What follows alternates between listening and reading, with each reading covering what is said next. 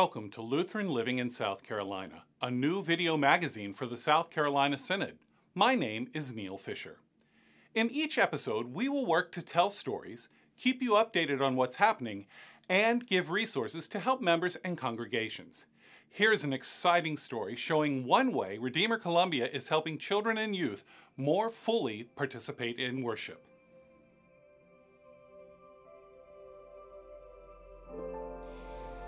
It is so fun to tell the story about Artie and the rest of the kids of Redeemer being led to be more active in the leadership during worship. And so one day, Artie was at church with his grandpa, Mike. And Mike was going to carry the, the cross into worship. Mike was the crucifer that morning. And um, he told me he couldn't be the crucifer that morning because he was the only one there with his grandson, Artie, who was about seven years old at the time. And as a lot of new pastors do, they have a lot of crosses in their office. So I grabbed one of the small crosses I had in my office and I went back to the narthex and I asked Artie if he could carry this cross in, just like his grandpa Mike was doing, and then go put it up right beside the other cross behind the altar and sit down. And then at the end of worship, bring it back out. And Artie was so excited. This kid loves church, and it is so evident because his eyes got so big and he was so excited and so proud to carry the cross into church just like his grandpa. And so we start the procession, and the congregation is singing, and they're turned toward the cross as we walk down the aisle. And I see people smiling, these big smiles, as Artie and his grandpa walk by carrying the crosses. When I first saw him doing that, I thought he must have been insistent that he wanted to be with his grandfather because they're inseparable. Then I realized as soon as he got closer where I could see him good, he was so devoted to what it was. The entire congregation felt Artie's presence, felt Artie's um, joy and love and pride in being part of the leadership of the congregation during worship that morning. Oh, it, it really touched my heart it was very emotional because and I'm much older, and so as a child his age, we were really ignored. And to see a child of his age bring his young, wise little faith forward so proudly made me think, I wish I would have that opportunity to show that I had that same kind of love then too. Ooh, I think it's beautiful that the kids can have the confidence because everyone accepts it. So, fast forward a week, and we already have somebody in the congregation that said, Oh, he needs a cross that looks more like the larger cross. And so they built them a kid size cross to carry in to the worship service. And then Artie decides that, of course, he's not the only kid that needs to carry in the cross. All of the kids need to have this opportunity. So Artie takes over youth group one Sunday afternoon, and he has crucifer training for all of the other kids. And it was so beautiful because not only was Artie so excited about carrying in the cross and having that feeling for himself, he wanted that for the other kids in the congregation as well. Hey, Kyrie, how old are you? Seven. Seven. And how many times do you think you've carried the cross into church for worship? Twice? We have little girls and little boys that um, are as young as three years old that are taking that leadership role in our congregation's worship service. What did it feel like to wear your wings and carry the cross into worship? Be like a butterfly carrying a tiny cross. I think that's really exciting to watch them feel like I'm supposed to be here. One of the wonderful parts of of my role in the church is I get to tell some fabulous stories about Artie and his grandpa and other things that are going on in the life of the church and in the life of our synod. After Synod Assembly, when I got to tell this story for the first time in front of all of the people that were there, I had many, many, many people come up to me and say how wonderful it was to share that story, to have that example of kids being leaders in worship.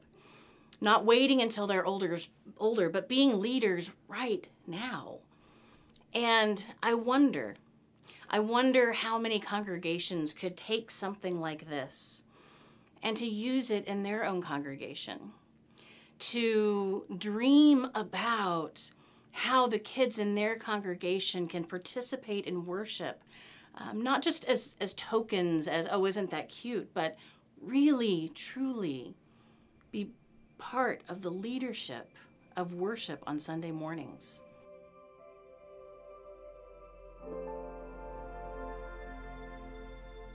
Jambo. My name is Kathy Malichak, and I serve as the Tanzania Companion Synod Coordinator for the Synod.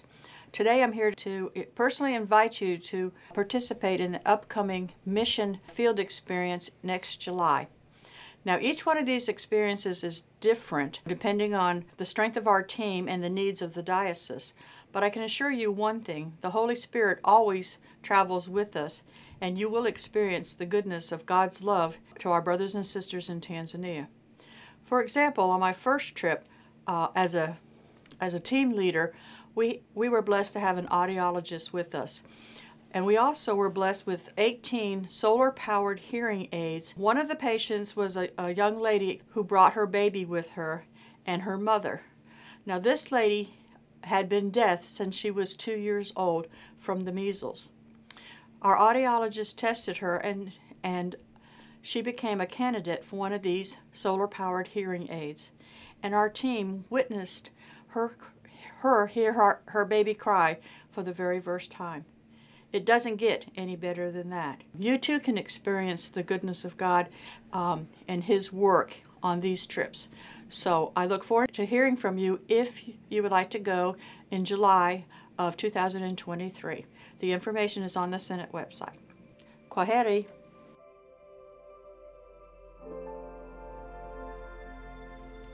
A resource that's worth a look How to Try by the Reverend Lorenzo Lebrija.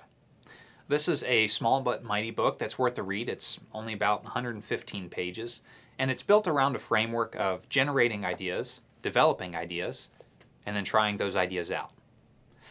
I know that sounds so simple as to be boring, but there are nuggets in each section that would be helpful for any pastor leading a congregation through a new activity.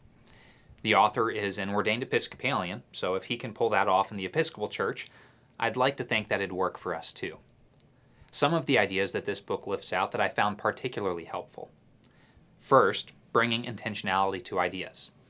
Anybody can have a new idea. What this book does is to help tease out the question or problem that your group is facing and intentionally shaping it so that it's the best starting point. It takes that extra step of developing an idea before just trying it seriously, which, if I'm honest with myself, I tend to cut that out and just try the idea as it originally comes to me. The second point is that recognizing that experiments will fail. This book doesn't promise any silver bullet, it promises a way to think through experiments and failures, learning from what works and what doesn't, and getting back up and trying again.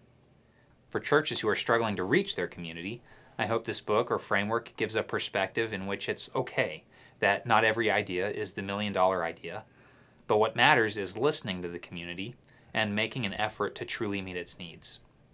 Success will come from cumulative effort, not instantly from one idea. All in all, for 15 bucks and a small investment of time to read, about 100 pages, I'd say the book's worth looking into, especially if you're helping to lead a congregation through experiments or new ideas and events. For this and other ideas, I encourage you to look at the Synod Vitality page, and if you see things you like there, sign up for my monthly newsletter, This Month in Mission, on that website there.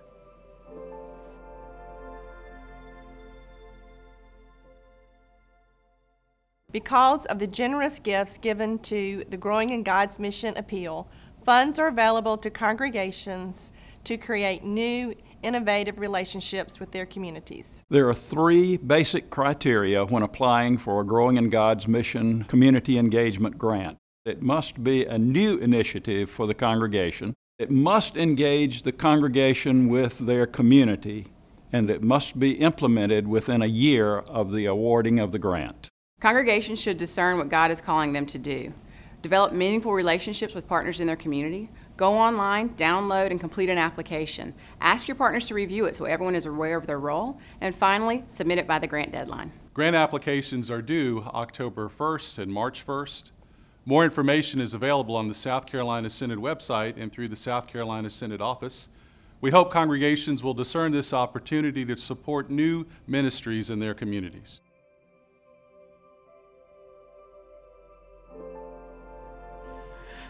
Hi, I'm Pastor Emily Edenfield, and I'm an assistant to the bishop in the ELCA South Carolina Synod.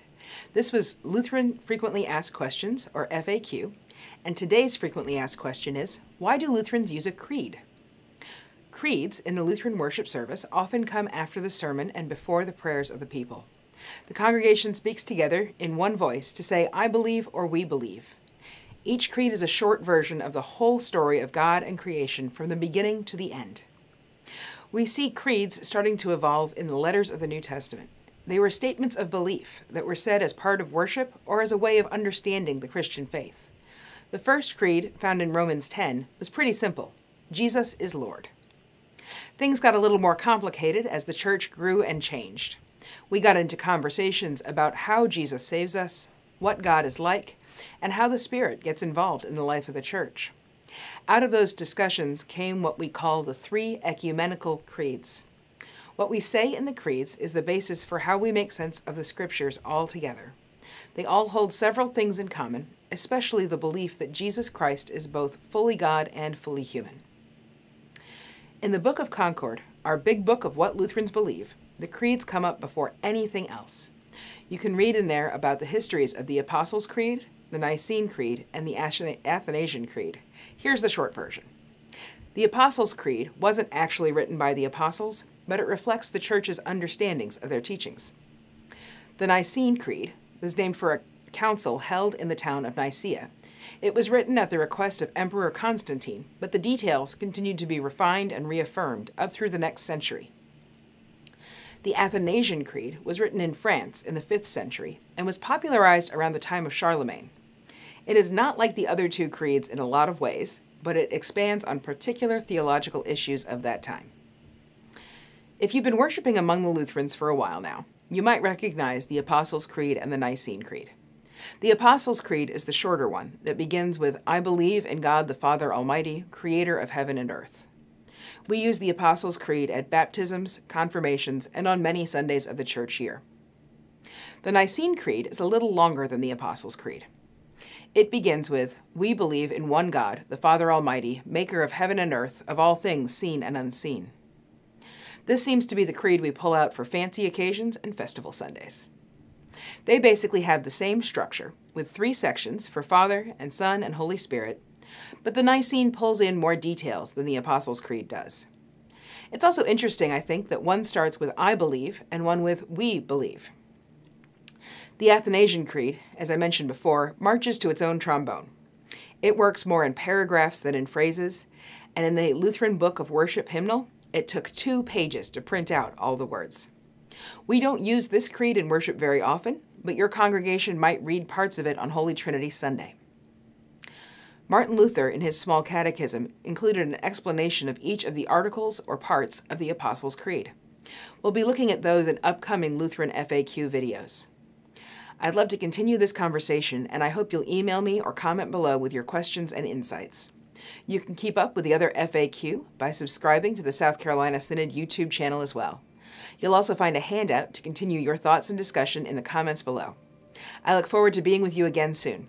Until then, keep asking good questions, and peace be with you.